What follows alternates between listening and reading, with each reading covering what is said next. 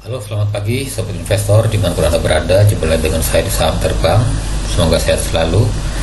Uh, saya akan coba membahas mengenai tips compound dividend investing dengan modal 100 juta. Kapan kita bisa hidup dari dividen? Uh, ini sebenarnya sudah pernah saya bahas ya di channel saya waktu awal saya bangun channel ini. Uh, teman banyak komen waktu itu suaranya kurang jernih, suaranya terlalu kecil. Jadi saya coba untuk uh, buat video ulang ya. Oke, kita akan bahas langsung, uh, terutama ini disclaimer ya, bukan aja untuk menjual atau membeli saham tertentu, jadi lakukan uh, analisa lebih lanjut ya. Ini hanya contoh menggunakan saham-saham tertentu saja. Jangan lupa untuk subscribe channel ini agar lebih berkembangnya channel ini di masa depan. Oke, pernahkah Anda bermimpi untuk menggapai financial freedom suatu hari nanti? Mungkin bukan cuma Anda yang bermimpi ya, saya pun juga. Kita masih bekerja, masih berharap dari perusahaan. Dan suatu saat nanti saya berharap dengan tabungan saham yang sudah saya sisihkan dalam beberapa tahun ini, uh, saya tidak terlalu bergantung dengan gaji lagi ya. Saya cukup dengan passive income dari saham. Gimana caranya? Kita hidup dengan dividen yang kita bangun dari sekarang ya. Misalkan kita akan mulai di tahun 2023 ini. Caranya bagaimana? Mungkin coba tips ini siapa tahu lebih bermanfaat oke kita akan fokus kepada saham yang berikan dividen yang tinggi ya. Saat ini kita lihat uh, saham-saham batu bara terutama ya karena revenue ataupun laba yang mereka hasilkan sangat tinggi sehingga dividen yang dibagikan pun besar ya.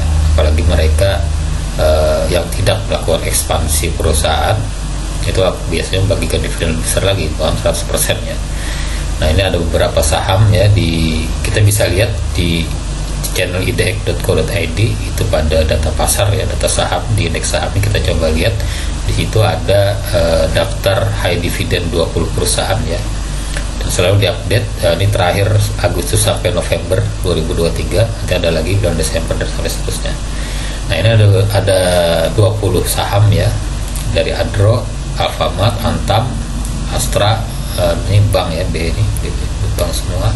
Ada juga Hexa, AM Sampurna, Indofood, TMG, MPMX, PTBA, Telkom dan Unilever. Kita akan lihat saham manakah yang akan kita pilih. Dan ini terserah dari tempat investor semua lebih prefer ke mana. Ini hanya asumsi saya saya akan menggunakan uh, sedikit saham ya agar saya bisa mendapatkan return yang tinggi. Tentu saja risikonya juga tinggi asumsi yang saya gunakan ini saham yang saya pilih saham apa aja saya akan pilih saham beberapa saham dengan modal 100 juta tadi ya. Terus ada asumsi kenaikan harga saham. Nah dengan CHGR tiap tahun kenaikan harga saham berapa? Tentu saja semakin tinggi saham yang dibagikan biasanya kenaikan harga sahamnya itu tidak terlalu signifikan ya. Biasanya mereka saham-saham tersebut hanya tinggi saat mengumumkan dividen yang ingin dibagikan. Contoh PTPA ITMG Multi itu mereka ketika akan memberikan informasi uh, dividen yang dibagikan sahamnya langsung arah ya nah itu. Jadi uh, berbanding berbanding lurus ya dengan saham yang dibagikan oke terus persentase dividen sini saya akan uh, bagi rata-rata aja kita akan menggunakan nilai yang konservatif lah ya. Terus juga manajemen portofolionya seperti apa sih kita terutama ini diversifikasi ya diversifikasi sahamnya. Oke uh, ingat ini hanya asumsi saja. Biasanya kinerja perusahaan yang bagus akan menghasilkan laba yang besar ya. Terus itu juga yang akan dibagikan untuk uh, dividennya. Semakin banyak labanya semakin banyak dividen yang dibagikan dan juga kemampuan perusahaan untuk ekspansi dengan pendapatan tersebut uh, maka dividen yang dibagikan pun akan menjadi pertimbangan perusahaan ya. Kadang perusahaan itu kalau masih expand contoh kayak Harum. Harum Energi di batu bara mereka dapat revenue besar laba yang besar tapi mereka tidak membagikan dividen di tahun 2023 karena apa? karena mereka expand ke nikel ya. Mereka memberi perusahaan mereka beli smelter. Nah, itu sehingga uh, uang yang didapatkan tidak dibagikan kepada investor. Jadi itu bagus. Di satu sisi itu bagus karena harga sahamnya naik ya. Kita dapat capital gain.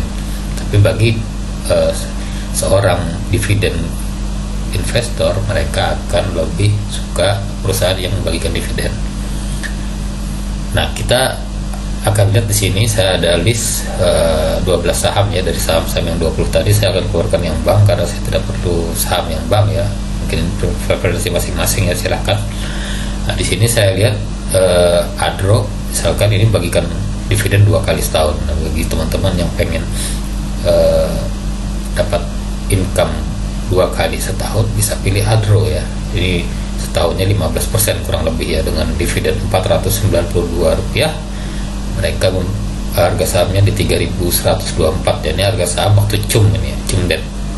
Nah, harga saham waktu cum debt itu biasanya sudah naik ya.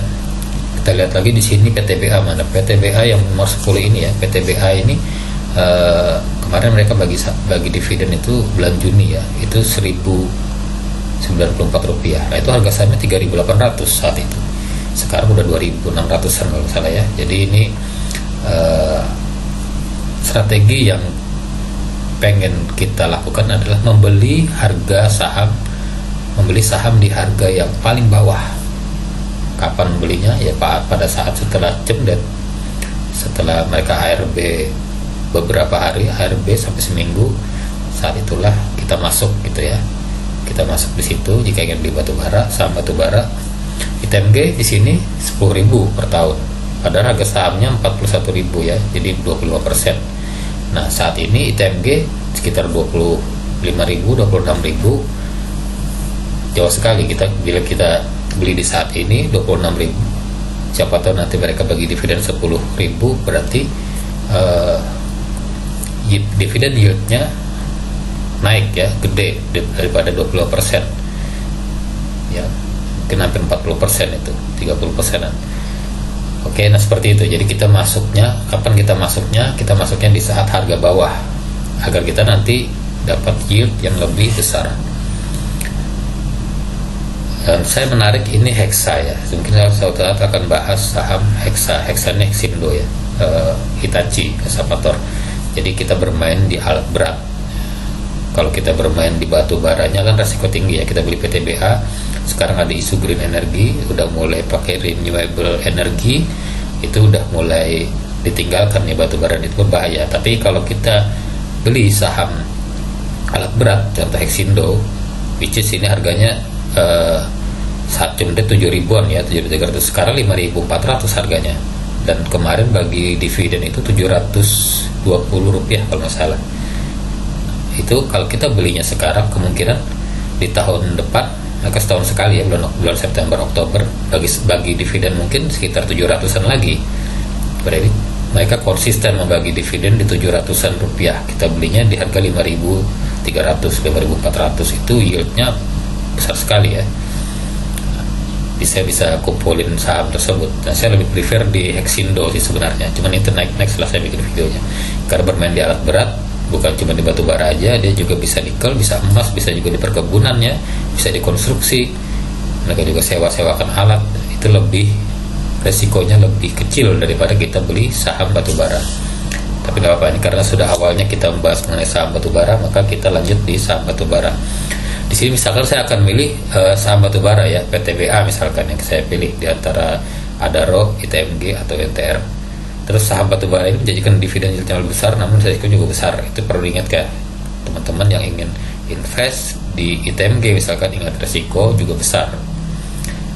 Di sini saya akan pilih PTBA dengan yield 28% di sini ya. Tinggi sekali yieldnya memang. Makanya harga saham juga tinggi ketika mereka mengumumkan pembagian dividen. Tapi di rata-rata dalam tiga tahun sebelumnya nih dividen yieldnya kita anggap di 12% lah. Karena sempat covid dan lain sebagainya ini sangat konservatif. Kita tidak ingin mengambil uh, dividen itu yang terlalu optimis kemudian yang kedua saya pilih MPMX ini bergerak di bidang otomotif ya. Motor mobil dan juga finance. Nah, ini dividen yieldnya kita anggap juga sekitar 12% ini kalau di tahun ini mereka bagikan dividennya 12,6% Lalu kita pilih juga Astra yang lebih aman ya, safe karena dia bergerak di multi industri, bergerak di otomotif, bergerak di uh, perkebunan juga ya, alat berat, pertambangan dan lain-lain. Kita asumsikan di 4% saja. Gak apa-apa, ini karena memang kemarin juga bagi dividennya dua kali ya. Jadi uh, bisa lebih tinggi dari 4% apalagi kita dapat harga sekarang di 5 ribuan ya 5.600 5.700 padahal mereka bagi saham saat bagi dividen itu sahamnya naik di harga 6.800 nah ini pertumbuhan CAGR saham kita lihat PTBA ini kenaikannya nggak signifikan ya karena memang naiknya pas saat bagi-bagi dividen aja ini saat bagi-bagi dividen ini kita rata-ratakan aja di sini dari 2000-an ke sekarang 2600 ya ya 1,7 persen lah. Kita tidak terlalu berharap dari kenaikan harga sahamnya. Karena yang kita inginkan adalah dividennya aja. MPMX ini uh, kenaikannya sekarang di seribuan ya. Harga sahamnya di seribuan. Kenaikannya sekitar 4,9 persen. Astra ini uh, kenaikannya 6 persen ya 6,2 persen. Kemudian Telkom jika kita ingin membeli saham Telkom ini sekarang turun ya di 3000 berapa ya? 3500 kalau salah ya. Sekarang turun kenaikannya sekitar 5,1 persen. Indofood juga ini Indofood masih di 7000 ya 5,1 persen. Kita akan coba diversifikasi di tiga saham ya yaitu PTBA, ASII, Astra ya dan juga MPMX Mitra Pinastika ini dengan rasio PTBA yang paling banyak ya 40% kemudian 30% Astra dan 30% MPMX kita bisa fokus dengan pekerjaan dan rutinitas kita harian kita. Jadi kita tidak perlu cek saham harga saham tiap hari. Tidak perlu. Kita mungkin cukup seminggu sekali lah dan lihat berita data saham. Nanti ketika market crash ketika market crash harga saham jatuh. Sebelum jatuh kita bisa jual. Kita bisa jual dulu. Nanti ketika sudah di titik terendah kita bisa serok bawah ya. Jadi jumlah saham kita akan nambah. Jumlah lembar saham kita akan nambah. Kita dapat harga murah. Nah, itu. Jadi fungsinya kita lihat dan berita segala macam untuk tahu kapan saatnya kita harus jual agar uh, kita dapat uh, dividennya yang lebih tinggi ya kemudian kita juga bisa download daftar saham itu high dividend yang tiga bulan sekali itu kita lihat opportunity saham yang menarik apa aja nih kira-kira nih. Mungkin ada yang mau kita ganti misalkan FPM kita ganti ke saham yang lebih menarik di sektor yang lain ke renewable energy. Berapa mereka membagikan dividen kita nggak tahu ya. Oke untuk akumulasi dividen ini kita coba asumsi ya dividen yang dibagikan tidak pernah ditarik. Jadi dividen mereka kita bersabar kita mungkin nunggu butuh 10 sampai 15 tahun untuk bersabar mengumpulkan dividen yang ada kemudian kita belikan lagi ke saham ya. Ketika mereka bagi dividen kita lihat uh, harganya turun baru kita beli lagi tambah muatan tambah muatan gitu ya. Nanti kalau sudah saldonya 500 juta atau 1 miliar nah baru sobat bisa berpikir nih untuk menambah diversifikasi saham yang tadinya 3 jadi 5 mungkin ya. Mungkin alternatif Telkom atau INDF, INDF atau Unilever Unilever sudah ganti presiden direktur ya mungkin lebih baik lagi nantinya coba di uh, lihat peluang tersebut gitu loh tapi sebelum itu sobat investor pastikan ya terkait dana karena ini kita tidak ada mengambil hasil dividen sama sekali selama 10 sampai 15 tahun. Jadi pastikan dana darurat itu ada, kebutuhan sehari-hari terpenuhi dari gaji tersebut agar tidak mengganggu portofolio, tidak jual di harga rendah. Ya, jadi investasi dengan tenang. Di dana darurat itu biasanya ya eh, 12 bulan paling enggak ya.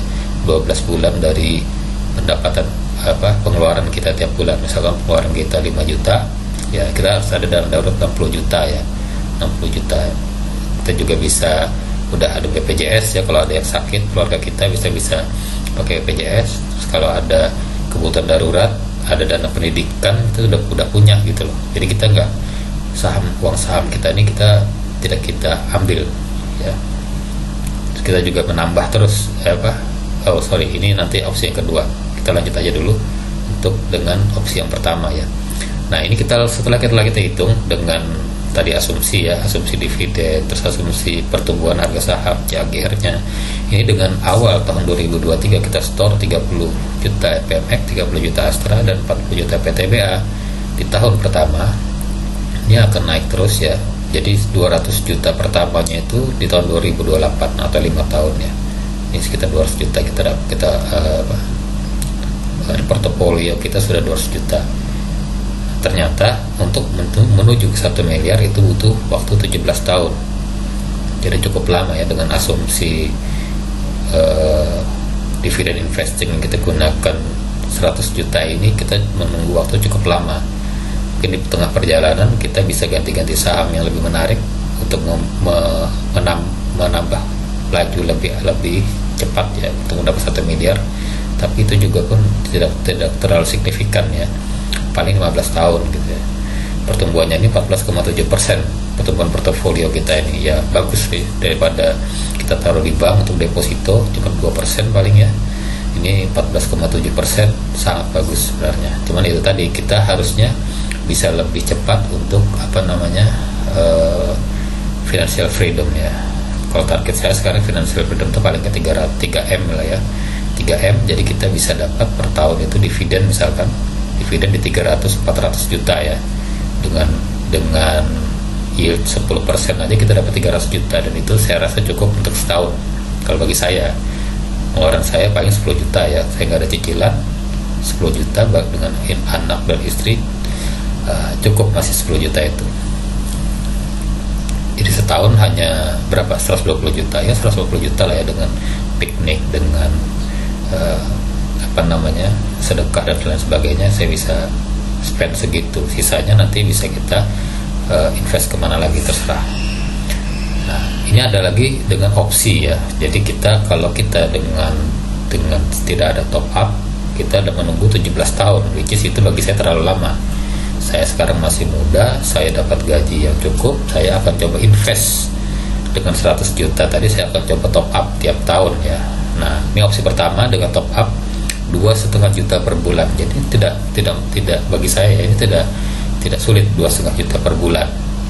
Apalagi nanti kita tiap tahun ya kemungkinan gaji kita akan naik ya. Perusahaan akan menaikkan gaji kita karena ada inflasi naik. Saya kita usahakan pengeluaran kita gaya hidup kita tetap gitu ya. Kita nggak usah gaya hidup terlalu aneh-aneh kita biasa-biasa aja makan apa adanya yang penting kita enjoy waktunya piknik liburan-liburan tapi kita tidak berlebihan ya. Istilahnya frugal frugal frugal living frugal life kita tidak terapkan itu. Jadi kita bisa sisihkan dua setengah juta per bulan kerendian kita. Jadi setiap empat bulan nanti store 10 juta apa 10 juta tiap empat bulan ya kita nambah. Nah ini di tahun 2023 kita 100 juta 200 jutanya itu sudah 2025 kita dapat ya. Hampir lah ini 2025 2 tahun udah 100 juta apa 200 juta kita dapat. Jadi sampai 1 M lebih ini 2034 ya which is ini 11 bulan. Sangat uh, cepat ya daripada tadi 17 bulan. Saya lebih prefer kita nambah kita bekerja keras dengan uh, menyisihkan uang 2,5 juta per bulan. Sehingga di tahun ke-11 kita dapat 1 M. Apalagi saya bercita-cita di 3M ya 3M misalnya saya menargetkan 3M itu akan cepat setelah kita 1 M itu untuk ke 3 M itu akan cepat karena kita udah udah gede udah gede modal kita ya. 1 M itu setahun dengan CAGR 14% udah sempat 140 juta. Belum lagi kita top up tiap bulan ya. Nah itu. Gaji kita naik kita bisa store. Bahkan kita bisa gunakan opsi kedua. Bagaimana? Dengan top up 5 juta per bulan jika sobat investor masih belum mampu mungkin masih dua setengah juta selama lima tahun pertama. Nanti setelah lima tahun udah gaji udah gede udah udah bisa store 5 juta per bulan. Gak apa-apa. Nah kalau ini kan kita coba opsi 5 juta per bulan ya. Dengan opsi 5 juta per bulan ini di tahun pertama 100 juta 200 jutanya itu udah memang sama ya 2025 kurang lebih tapi udah lewat ini. Udah 200 50 juta kali ini. Untuk mencapai 1 M pertama ini di 2031 ya atau 8 tahun. 8 tahun kita sudah punya 1 M. Dan saya yakin setelah 1 M ini top, top, kita stop, stop top up pun nggak masalah karena 1 M itu yield kita per tahun udah gede. Per tahun kita udah dapat 100 jutaan ya. 100 jutaan kita masukin lagi top up lagi 100 juta itu ke RDN kita top up terus. Nah itu kapan kita bisa 3M itu akan tercapai ya. Kita bisa top up 5 juta untuk dapat 1 M itu di tahun ke-8 Nah ini bagaimana untuk sampai ke 3M Nah ini kita tetap top up Asumsinya top up ya 60 juta per tahun atau 5 juta per bulan tadi. Dari 2031 kita sudah 1M Kita akan coba nambah ya Nambah Nambah portofolio kita Masukkan dan contohlah INDF, Indofood, dan Telkom Kita masukkan ke sana. Nah, Itu uh, dengan porsi masing-masing ya mungkin porsi 10% Astra 25% PT BAT tetap 30% ini saldo 3M kita nih akan tercapai 15 tahun dari sekarang. Jadi tahun 2038 kita akan punya saldo 3M dan itu kalau kita tetap melakukan itu sampai kita pensiun ya which is misalkan itu 20 tahun lagi kita pensiun. Kita masih ada lima tahun dari waktu 3 miliar tadi kita tetap top up top up terus ya sampai kita pensiun. Kita pensiun sudah punya 10 m. Dan itu 10 m di di di portofolio kita kita bisa dapat uh, apa uh, dividen yield. Itu udah gede banget ya 10 m 1 m berarti kalau 10 10 persennya. Oke sobat investor itu aja kesimpulan dari saya. Ini asumsi perhitungan ini menggunakan daftar high dividend. Jadi update terus ya per tiga bulan. Cari saham yang menarik yang memberikan return yang tinggi dengan resiko yang sekecil-kecilnya kalau bisa. Sekecil-kecilnya tapi gainnya sesuai gitu loh ya. Itu harus dipertimbangkan juga semakin besar saldo portofolio kita maka return akan semakin besar. Pilih harga saham pilih saham high dividend lakukan top up secara berkala sisihkan terus tabung harus rutin ya harus apa namanya disiplin. Saya sudah melakukan ini dan alhamdulillah ini sudah dekat ya saya bisa mencapai uh, angka yang sudah saya harapkan. Akumulasi dividen untuk tambah muatan saham jadi yang cocok itu ketika market crash itu keluar dulu kita keluar dulu. Tadi portofolio kita misalkan masih 200 juta kita keluar dulu kita beli di harga bawah nanti bisa dapat maksimal ya. Serok bawahnya lebih lebih cuan. Dan pastikan keuangan harian Anda aman ya. Dana harian, dana darurat, dana sekolah, dana kesehatan itu udah ada sehingga tidak mengganggu portofolio kita. Kita bisa berinvestasi dengan tenang tidak perlu buka-buka harga saham tiap hari ya saham-saham yang aman-aman aja itu udah cukup bagi kita untuk kita nabung sampai financial freedom tercapai. Oke, itu saja sekilas dari saya. Semoga bermanfaat. Terima kasih. Salam sehat, salam cuan. Assalamualaikum warahmatullahi